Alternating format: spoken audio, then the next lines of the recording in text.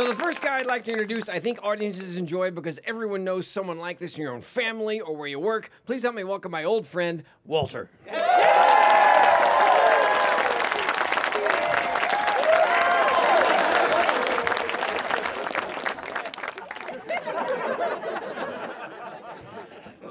Walter, uh, how are you? What the hell do you think? Well, uh, you playing it safe with the mask? Oh yeah. Okay. Yeah. mhm. I think I'm about to die, though. Why? I picked up the wrong damn mask. You did? Yeah, this is yours, and your breath stinks. Can I take it off? Please do, and then get yourself a damn Tic Tac, for God's sakes.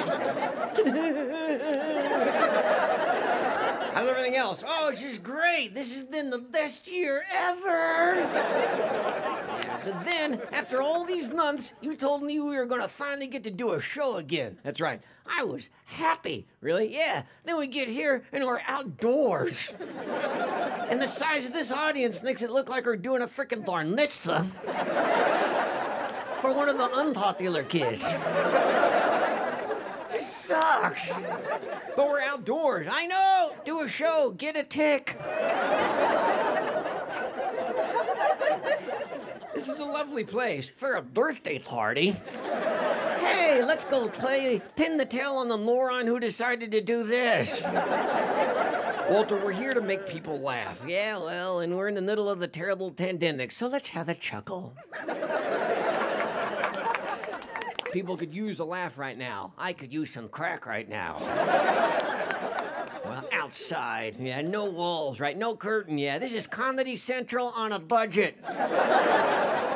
This is a great venue. You have been quarantined too damn long. Well, this looks like the patrons had nowhere to go after a Chuck E. Cheese burnt down.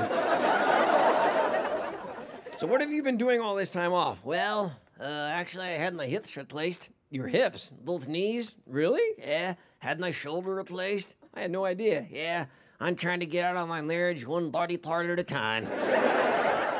Do you think this is great being on TV? I don't care. My wife and I have been locked up alone in our house together for so long, it's just a matter of time before we end up on Dateline. How have you been holding up through all this? Well, I just hope you washed your hand for 20 seconds before you put it where it is.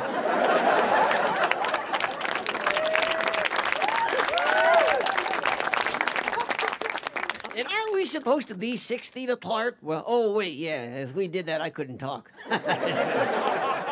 you can't throw your voice a measly six feet? Yes, I can. Oh, then I guess my mouth wouldn't move. Because you couldn't pull on the little thing in the jig back there. You'd be like, hey, Walter, and I'd be like, hey, Lauren, how's it going?